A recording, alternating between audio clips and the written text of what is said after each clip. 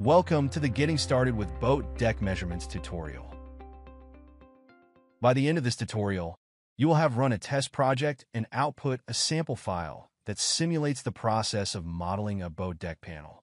For those first learning the photomodeler process to measure boat decks, reproducing the project shown in this tutorial can be immensely helpful.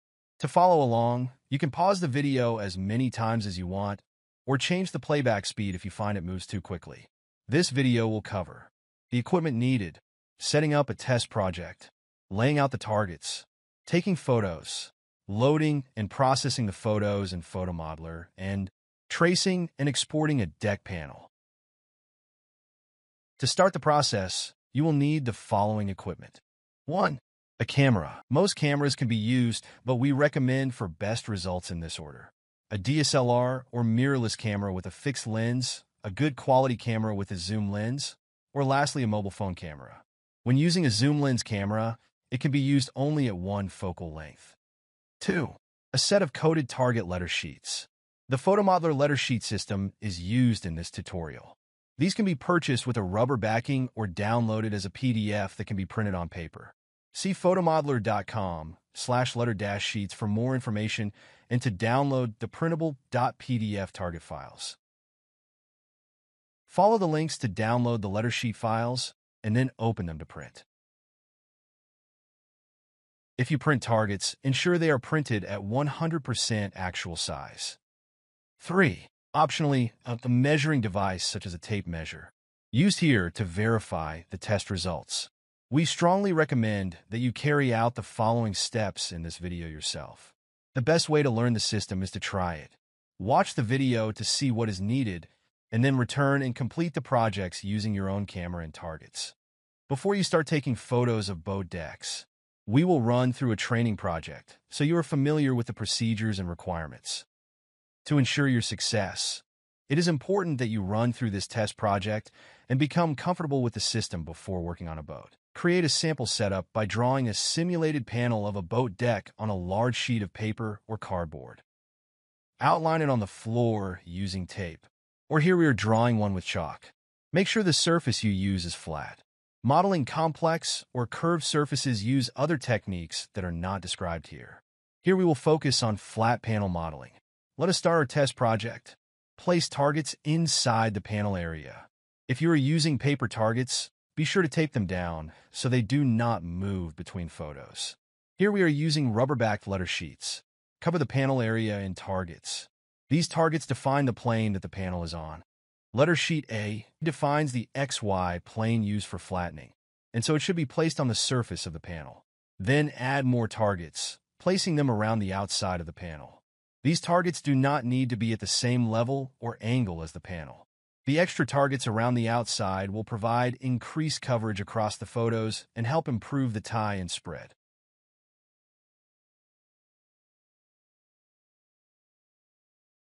When outlining the deck panel, it is best to use straight down photos. So, we start our set taking photos looking down on the targets and panel. Move the camera between each photo. Do not stand in one spot and rotate or roll the camera. As the camera moves, make sure there is overlap between each photo and the next one. As the camera moves, there should be a shared set of targets between each photo. Try to capture as many targets as you can in each photo. Aim for at least 15 targets per photo covering as much of the imaging area as possible. We could trace the shape using the first set of straight down photos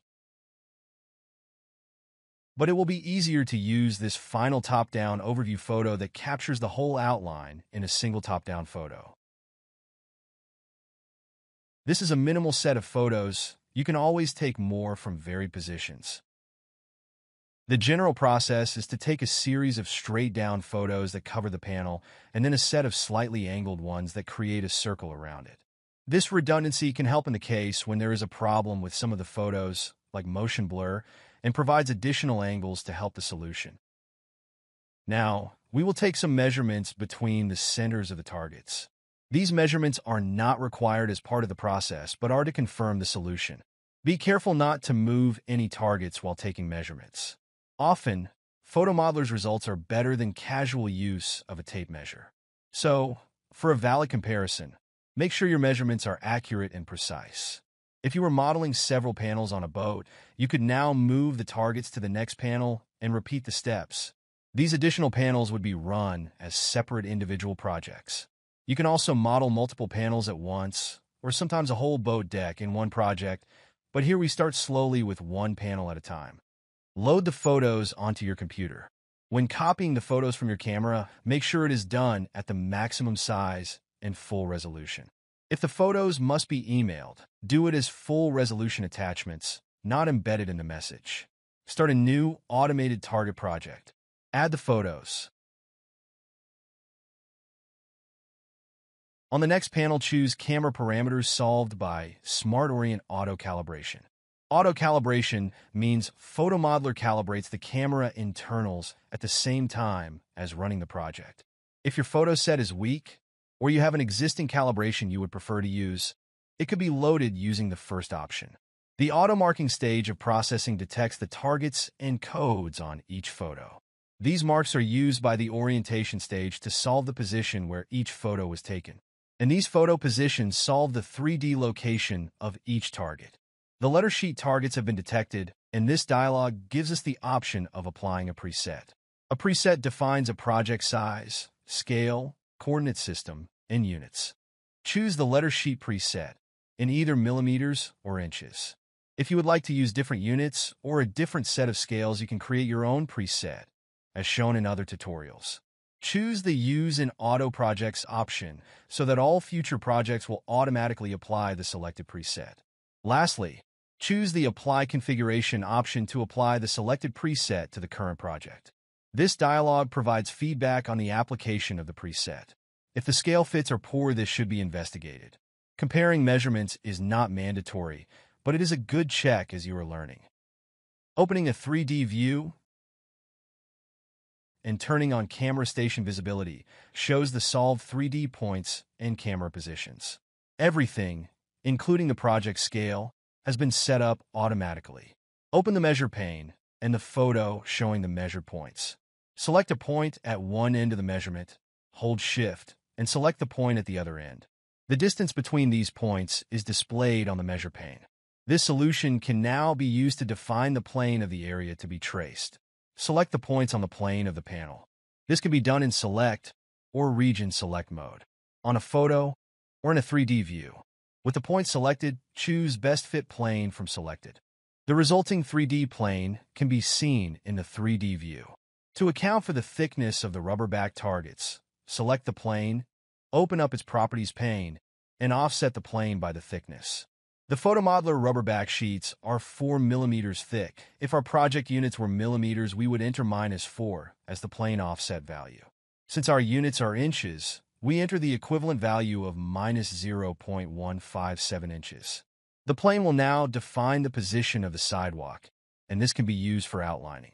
If you're using thin paper targets, no offset would be necessary. If you will always use the thicker rubber back targets, you can use the preferences to set the default plane offset, so all newly created planes are automatically offset 4 millimeters. Open a top-down photo to use for tracing. Tracing can be done using the surface point or outline tools. The more powerful and CAD-like outline tools are covered in a separate video. Here we will use the surface point tools. Switch to surface points, curve mode, and click on the photo to start outlining the panel. On the first click, we are prompted for which surface to use. Our current project only has a single surface, so select it. Continue clicking to trace the curve of the panel. Scroll the mouse wheel to zoom. Click and hold the wheel to pan the photo. For additional tips and more advanced cases, such as using multiple photos to create the outline, see the additional tutorial videos. To close and end the curve, click on the curve starting point. Existing points can be adjusted by dragging them to new locations. Other videos show additional editing options such as inserting and removing points. The final curve can be seen in the 3D view. You can also see the curve projected on each photo. Viewing the curve from photos taken from different angles is a good way to verify that the surface and solution match up. This outline can now be exported for use in CAD. Go to File, Export, Export Model. Select the 2D DXF format. The settings pane can be used to control if the output file writes the curves as splines or polylines, as well as other DXF-specific settings. For most projects, using the Flatten to Surface Planes option is best.